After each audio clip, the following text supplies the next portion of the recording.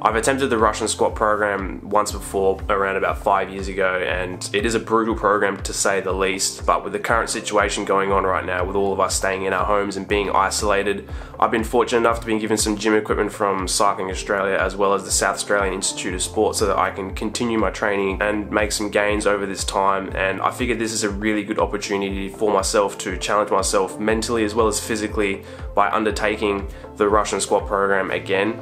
Uh, however, I don't have squat racks, so I'm going to adapt this training program and methodology towards deadlift, which is a weakness of mine comparatively to my squat. And the purpose of me making this video is one, to give myself something to do during this time, to also challenge myself, but also I want to document the journey so I can give you my experiences and how I felt during the whole entire process of this experiment. Before I start to dive further into what the Russian squat program is for those that are unaware of what it is, I need to get a baseline one rep max. So that's what I'm going to do. I'm going to head into the gym, into the garage right now and test out my one rep max for the deadlift.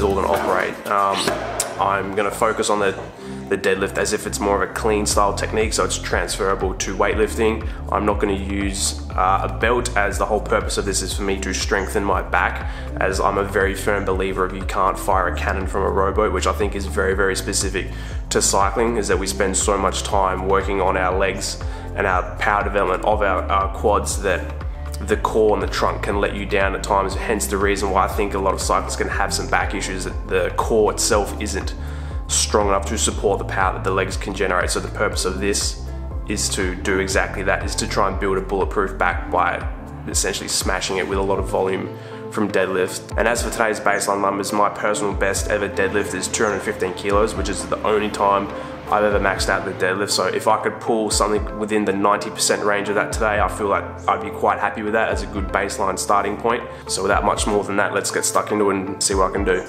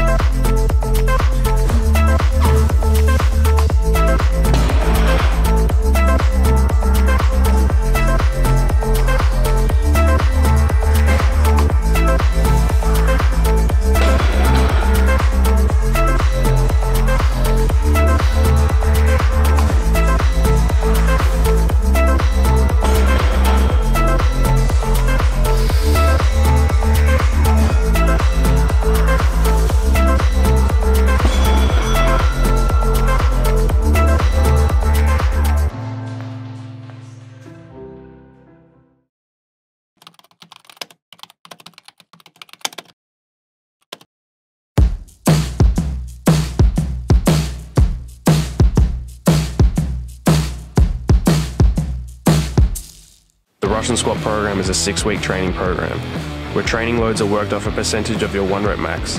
The program is split into two three week blocks consisting of three training sessions a week for a total of 18 sessions all up. The first block works on volume, based off 80% of your one rep max, with six sets of two reps at 80% remaining as a constant throughout the entire six week training block. Initially starting at six sets of two reps, every other session increases by one rep until you end up at six sets of six, completing the first three week training block. The second block sees a decrease in the overall load but an increase in the weight and intensity. Starting the three week block with five sets of five reps at 85%, where every other session you drop one set and one rep, but increase your load by 5% until you work up to a set of two sets of two at 100% of your max before testing on the 18th session at 105% for a new one rep max.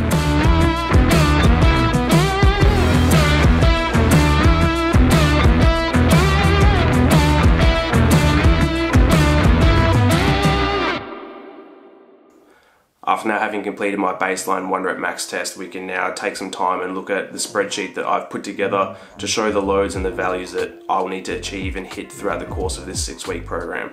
So as you can see by looking at the graph, during the first three weeks, the load maintains at 80% with the volume gradually increasing until week three. Before starting the final three week block, we can see that the intensity gradually increases until eventually achieving a new one rep max while the total session volume decreases during that period. So now if we enter in my one rep max from the other day at 205 kilos, which I'm really happy with how that session went. Uh, 205 kilos represent 95% of my all time one rep max. So I think that gives me a really good starting point and baseline to work towards as by the end of this six week period, I should be achieving a new one rep max if everything goes to plan and I stay on top of my recovery and manage my body well and manage my outside training stimulus, then I think this program will work really well. So as you can see, as we change the load to 205 kilos, it then changes all the corresponding data points to what I need to lift over the six week period. So for 80%, that'll be 164 kilos.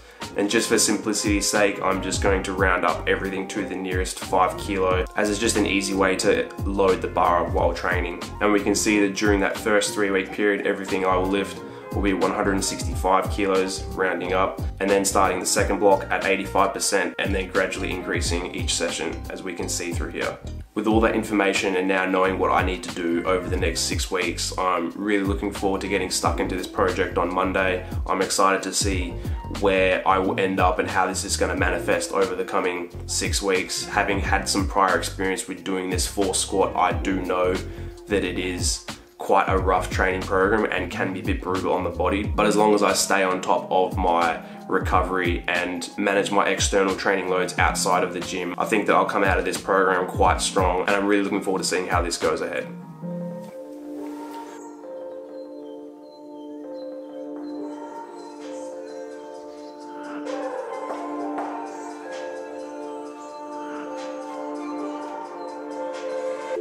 Rep after rep after rep is the theme of the first three weeks.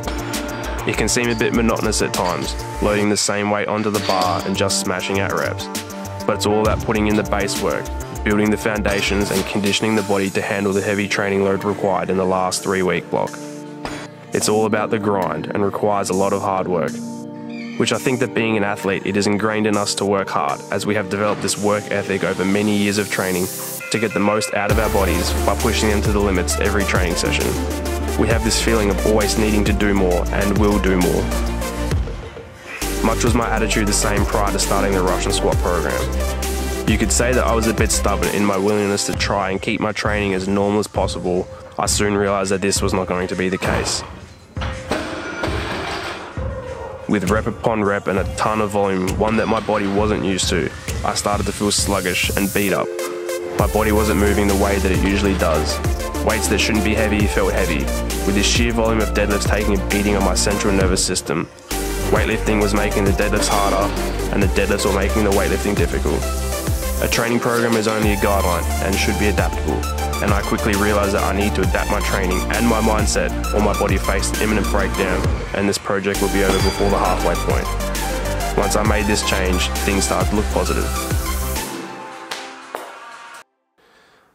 I'm now at the halfway point of this experiment, and once I'd made that adjustment to the initial training, realizing that what I was doing had this push pull effect on one another and had an accumulative load on the body, I feel like I've actually finished this first three week block in a really good position. My body feels quite strong. I don't have any niggles whatsoever, and I think I've set myself up really well for this next coming three weeks, as I know that this is the point where things really start to ramp up as those weights and percentages start to increase and push towards 100%.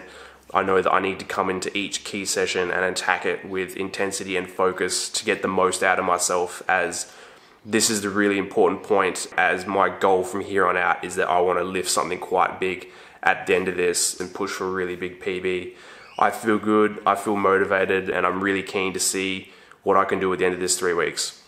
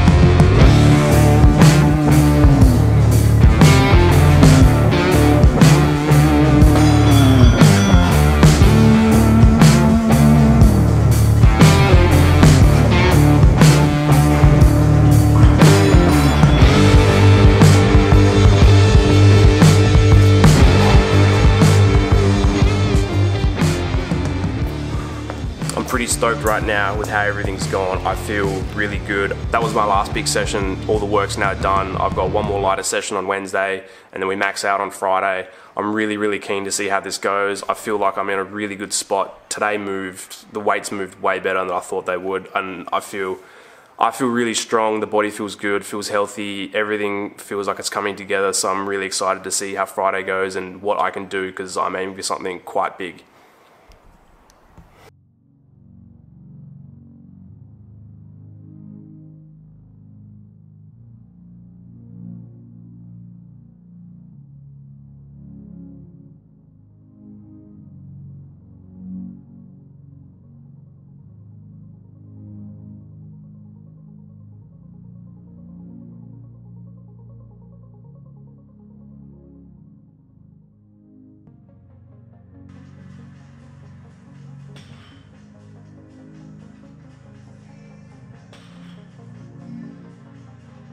As much as this program is physically challenging, it's also about your mental game.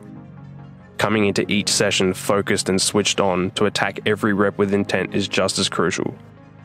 One moment of complacency or lapse in effort can increase your chances and likelihood of getting injured, and I wasn't going to let that happen. Every training session is leading you closer to the prospect of a new max. Day by day, you're improving, adapting, and being a better version of yourself than the previous session. By the end of the program, you are physically prepared, but now it's a mental game.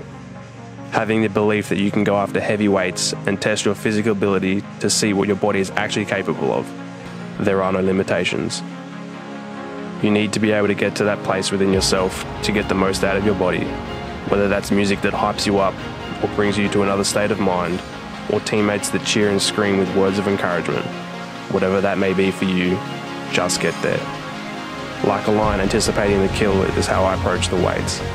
Pacing, eyeing off the target, psyching myself up. Approach the bar getting ready to strike.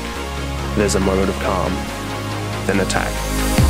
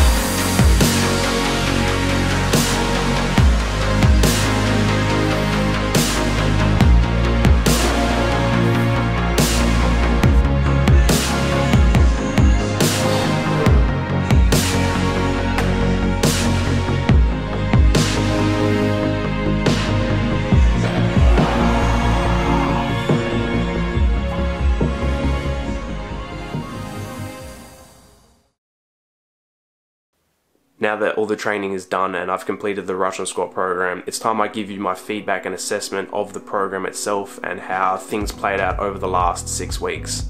And starting off with the program itself, did it work? Absolutely it did. Am I happy with the results?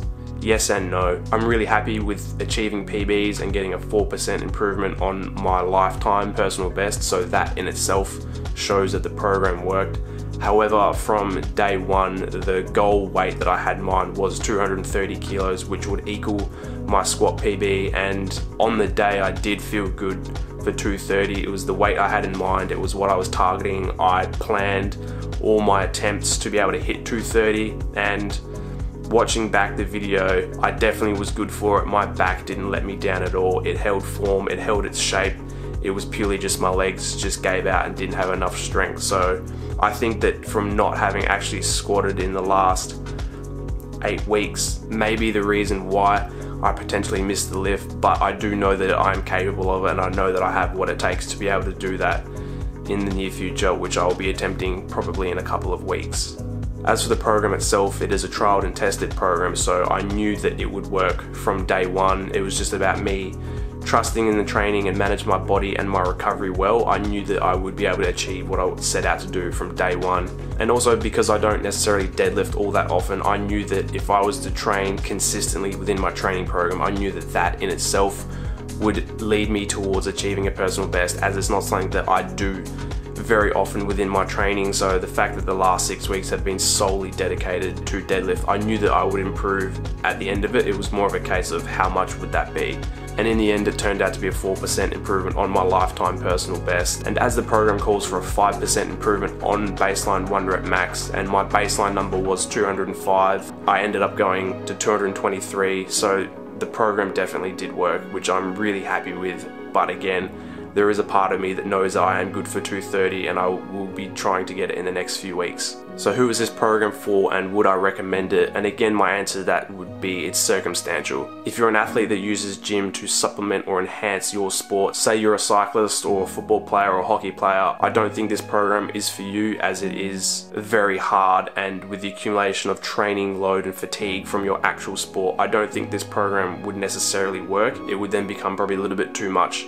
for the body and potentially increase your risk of injury, which is not what the aim is of any training program. If you are a strength athlete that does require a lot of strength in your sport, like a track sprint cyclist, or maybe a discus thrower, or anything that does require a lot of strength, rugby player as well, I think the program could potentially work for you, but maybe needs to be adapted to potentially two sessions a week, which I think that would work out well. So instead of doing it over six weeks, you would do it over nine weeks for still 18 sessions all up, where one session would be lighter and the second session would be heavier during the week. I think that could potentially work, which then that may be more of a, a, manageable training load. But again, it would depend on your sport and the demands. But then again, at the same time, a training program is only a, a guideline and always should be adaptable and can be adapted to any athlete in any need.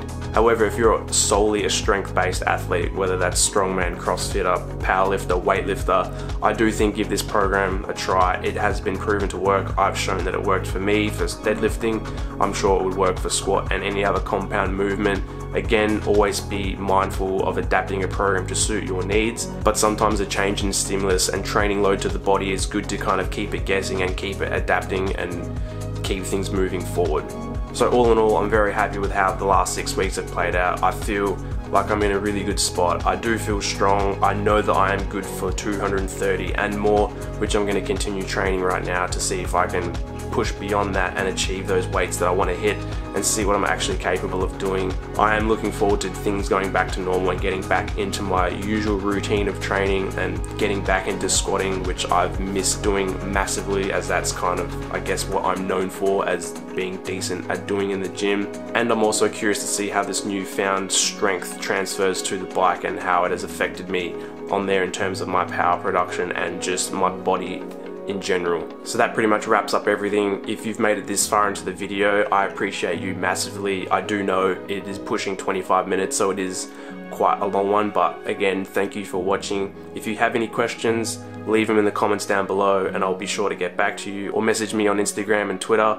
I'm always happy to reach out and give some feedback as that is something I do enjoy doing and passing on my experiences and yeah, thanks for watching.